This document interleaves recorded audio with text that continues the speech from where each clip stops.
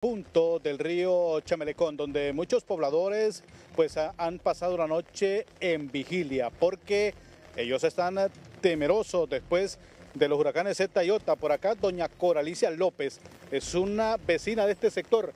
Bueno, no ha dormido junto con sus nietos. Eh, buenos días. Y buenos días. Un saludo para todos, ¿verdad? Y pidiendo al Señor que no, no nos vaya a pasar nada más, porque la verdad las cosas ya uno ya está temeroso porque la vez pasada salimos solo con el único y no sé, ¿verdad? Aquí solamente Dios, Dios y, tal vez, ¿verdad? Alguien se asoma por acá, porque ahorita hasta ahorita ustedes se asoman. Aquí no he visto a nadie yo hasta ahorita. ¿Temen ustedes que rompan nuevamente el bordo? Porque ha incrementado rápidamente en, menos de dos días. Sí, sí, esto fue de ayer a hoy. Fue de ayer a hoy. ¿Y sabes cuál es el miedo de nosotros? Que aquí cuando vinieron a arreglar supuestamente el bordo, solo pusieron las piedras una sobre de otra. Rasparon el pajito de bordo y pusieron las piedras, no le pusieron nada de cemento y el agua usted sabe que lava, lava por bajo y miren. Entonces ustedes en cualquier momento podrían sufrir inundación. Acá se han turnado con los vecinos, ustedes, y pues eh, piden a las autoridades que pongan más empeño en reparar acá este borde. Sí, sí, sí. Bueno, ahí han estado dragando, todo este tiempo han estado dragando y gracias a Dios que a eso yo creo que eso ha ayudado para que no, no se vaya de paso el agua, ¿verdad? Hay que tener Dios y las autoridades que se preocupen por uno porque aquí estamos como olvidaditos nosotros, ¿verdad? Pese a estar en la carretera principal de San Pedro Sula y Villanueva, a las orillas prácticamente. Sí, a las orillas de San Pedro Sula, digamos ahí. ¿De nada sirve? No, bueno, usted sabe que el pobre siempre se come las migajas, de verdad, pero hay que tener fe y confianza que tal vez algún día se acuerde de nosotros.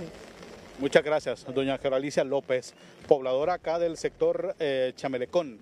Así está el río Chamelecón.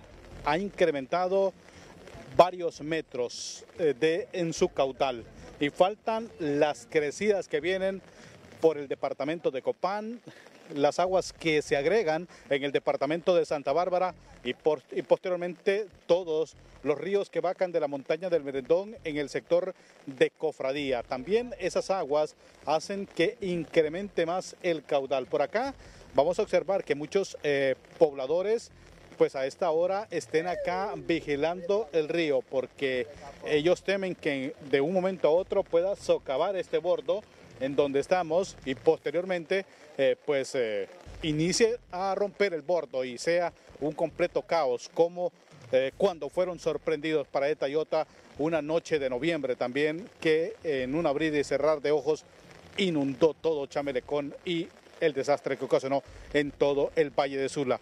Este río arrastra todo a su paso.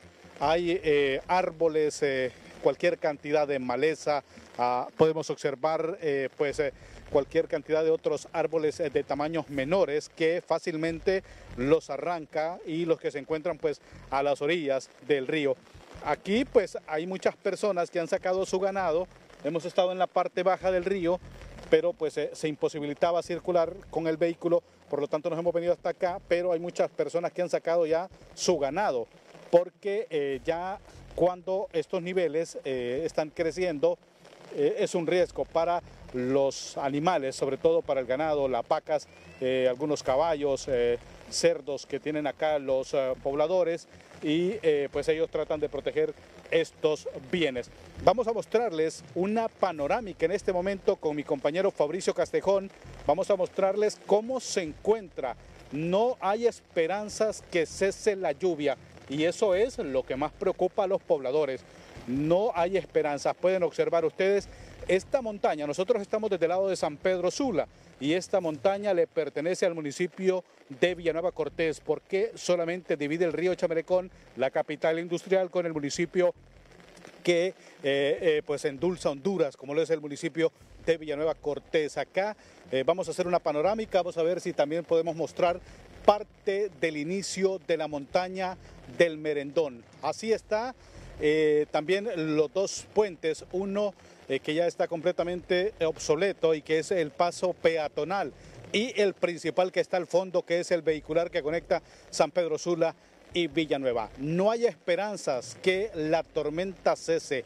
Hay lluvia eh, copiosa a esta hora que estamos completamente transmitiendo en directo desde el sector Chamelecón aquí en San Pedro Sula. Desde donde estamos se siente que es el eh, vivo lodo el que está bajando ya a través de este río Chamelecón. Acá pues eh, no estamos tan lejos de lo que es la zona de protección. Esto es lo que podemos informarles desde este punto.